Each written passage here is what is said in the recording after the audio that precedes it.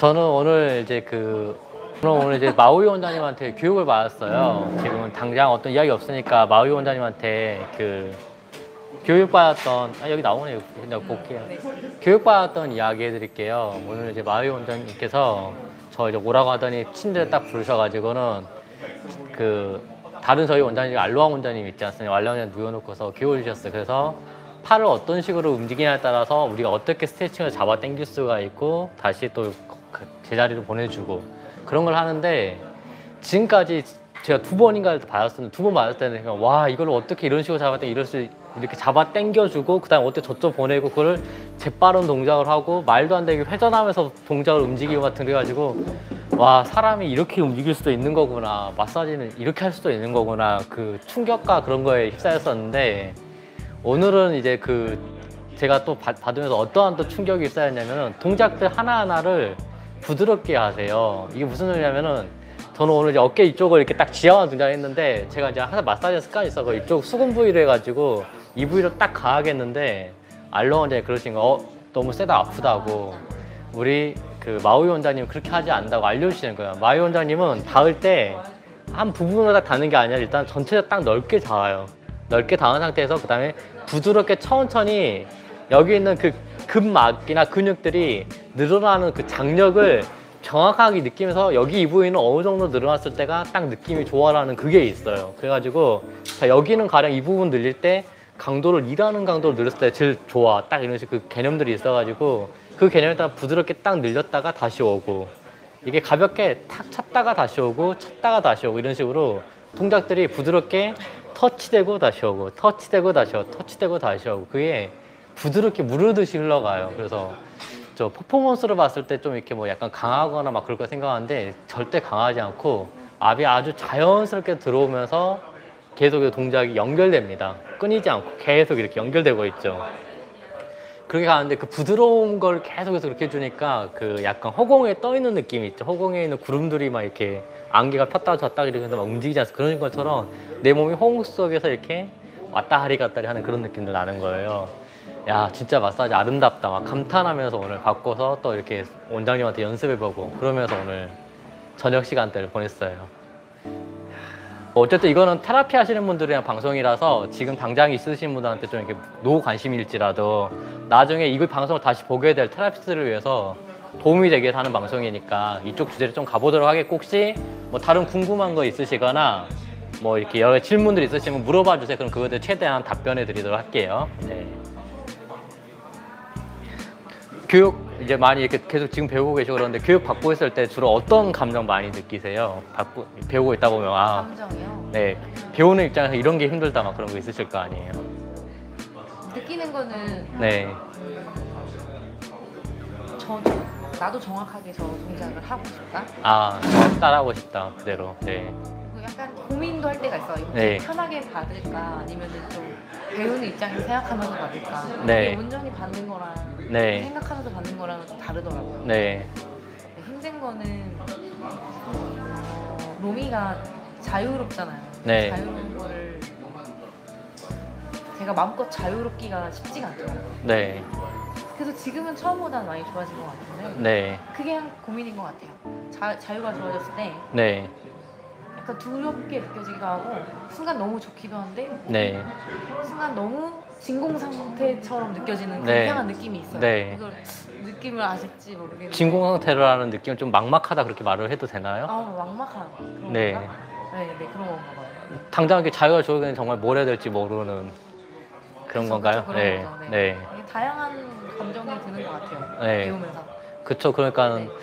쉽게 말하면 저렇게 선생님이나 저런 마우이 선생님 저름처럼 다양하게 막 숙련을 쌓고 이걸 뭘 하더라도 이렇게 자신감 있는 상태가 아닌 거고 네. 나는 내가 한 동작 하나 할 때라도 네. 자신감이 없는 상태에서 시작하니까 네. 물론 자유롭게 뭐 해보 이것 때문에 좋을 수도 있겠지만은 그거에 대해서 내가 하는 게 정말 쉽게 말하면 반응에 대해 연연하는 게 있죠. 저 사람이 좋을까 말까에 대해서. 그런 것도 신경 쓰이긴 하죠. 네. 선생님께서는 항상 뭐라도 하라고 네. 자유롭게 네. 다 시도해보라고 하시니까 네, 그래도 조금씩 그게 되는 것 같아요. 자유롭게 오늘 오늘 네. 들어갔던 이제 관리도 네. 그렇게 하고 나왔습니다. 어떤 그 자유로움을 탐험을 해보셨나요? 정해지지 않은 제가 인식하지 않은 방향으로 손을 다 가게 해보는 거죠. 아, 그러다 보면은 새로 즐겁게 아 이렇게 해도 괜찮네라는 걸 아. 찾게 되고 네, 어, 이건 아니구나도 네. 알게 되고 네. 하면서 즐겁기도 한 것 같아요. 아 그러네요. 좋네요.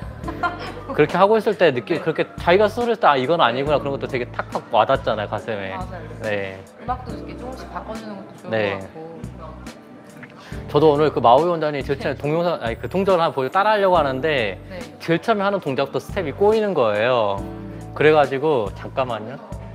그 만일에 이게 막혀서 이렇게 누워 있는데 네. 팔을 하나 이렇게 딱 들어서 위쪽으로 드는 동작인데 이 동작할 때 발을 이렇게 스텝을 밟아서 들어야 돼요. 네. 근데 그 동작을 할 때 계속해서 동작을 반복을 하면서 왼발이 먼저 갔을 때가 편한지 아니면 오른발이 먼저 갔을 때 편한지 계속 탐색을 했어요. 그래서 아 이걸 할 때 이런 식으로 발을 스텝을 차에서 밟아야 이 동작이 자연스럽게 연결이 되는구나.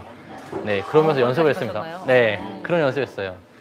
안 해본 동작이야 저한테 저한테 낯서니까 저도 아. 이렇게도 해보고 저렇게도 해보면서 아 이게 이렇게 했을 때가 내 몸이 더 부드럽게 자연스럽게 움직여지네. 네, 팔을 드는데 스텝을 뭐 신경 쓰였다는 거죠? 네 그쵸. 저도 팔 드는 동작을 지금 신경 쓰고 있어요. 네. 선생님께서 팔 들어보라 하셔가지고 했는데 네, 이게 어느 정도 힘이 적당한지 네. 이게 참 어렵더라고요. 왜냐면 네, 정답이 없잖아요. 네. 각각 그 사람에 맞는 정도가 있기 때문에 네, 네, 한 천 번 들면은 네. 할 수 있겠죠. 아, 천 번 들어도 저, 아, 천번 들어도 안 되나요? 안 되죠. 아, 선생님 항상 한 동작. 천번 하시라고 아, 천번 연습하는 건 연습하는 건데 네. 항상 그 배울 때 방향성이 정확해야 돼. 그래서 네. 자주 선생님 경험하면서 도대체 선생님이 이거를 이렇게 느슨하게 잡아당긴 건지 이거에 대해서 관절의 뼈와 뼈 사이가 살짝 잡아당기는 느낌을 한 건지 이 음. 동작을 할 때 잡아 자연스럽게 잡아당기면서 이렇게 약간 비틀어주는 건지 아니면 뭐 이런 식으로 잡아당겨서 비트는 건지 그리고 이거 잡아당기 지금 이건 팔림으로 잡아당긴 거거든요 이게 아니라 이거 잡고서 이렇게 몸으로 당긴 건지 잡고서 몸을 이렇게 회전시키면서 당기는 건지 아니 이렇게 뒤로 당겼던 건지 이렇게 회전시켰던 건지 좀 다양한 예, 이거를 사실 보는 순간에 관찰을 해야 돼요. 예. 근데 그러니까 이런 것들을 모르는 채 만일에 이거 천 번을 같은 걸 이렇게 팔림을 잡아야 돼 천번 연습해봤자 선생님이 한 거랑 완전 다른 거잖아요. 나는 그럼 이제 새로운 뭐 다른 동작을 연습한 거지. 원래 선생님이 가르쳐 주려고 했던 이거 잡고 있을 때 이렇게 회전을 시키면서 몸으로 이렇게 쫙 잡아당겼던 이 뉘앙스.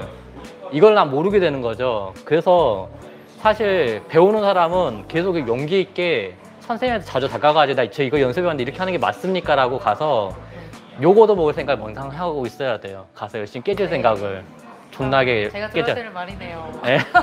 아니에요. 안 그러면 나는 어설픈 걸 연습하고 있으니까 내가 그 시행착오를 빨리 줄이고 싶다면은 가서 계속 선생님을 귀찮게 해야 돼요. 이거 지금 이거 물어봐도 돼요 하고 물어보고서 시간 괜찮으니까 한 번만 받아봐 줘 해놓고 그럼 선생님이 이렇게 했어야 되나 저렇게 했어야 되나 말을 해줄 거 아니에요. 그렇게 해서 시행착오하는 시간 되도록 줄이는 게 좋아요. 최대한. 네. 그렇게 열심히 물어보면 이제 귀찮을 수는 있긴 한데 그래도 뭐 배우고자 하는 애가 와서 가르쳐 달라는데 아주 바쁘지 않은 이상 웬만하면 다 도와주실 거 아니에요. 음, 그러시겠죠? 그럼 최소한 그렇게 했으면 아 얘는 열정이라도 있구나. 아 지금 채팅도 호흡하는 방법 좀 가르쳐 주세요라고 그러셨는데 저거 호흡하는 방법 그냥 가장 기본적으로 이게 방법이 여러 가지인데 단순하게는 이 상태에서 그냥 가슴 이렇게 숙이면서 후, 순간적으로 이렇게 가슴을 이렇게 탁 내려놓으면서 후! 하고 숨을 뱉어보세요 그냥 이렇게. 근데 이렇게 하면서 동시에 이제 다리 반동까지 같이 연결해 가지고 여기서 그냥 상체만 하는 게 아니라 이렇게 다리 하는데 다리 반동까지 같이 반동 같이 주면서 이런 식으로 약간 이런 스타일로 전체적으로 몸이 같이 역동 속에 있으면서 스프링 작용을 하면서 호흡하는 걸 되게 중요하게 여기세요. 저희 선생님께서. 그래서 그 어떤 동작 하나를 할 때라도 무조건 다 그 호흡과 연결해서 순간적으로 훅딱 잡아 탁 치듯이 잡아당기는 그 리듬이 있거든요. 근데 그거를 강하게 탁 잡아당기실 때도 있고 그냥 부드럽게 탁 탁 탁 잡아당기실 때도 있고 되게 다양하게 그 호흡을 사용하세요. 그러니까 그 호흡 하나에도 로미로미 쳐 호흡하는 거죠. 호흡을 이렇게 단순하게 길게 들이쉬고 내쉬는 한 박자로 사용하시는 게 아니라 이게 탁탁탁 끊으실 때도 있고 한 번에 확 끌 때도 있고 천천히 느리실 때도 있고 정말 다양하게 호흡하세요.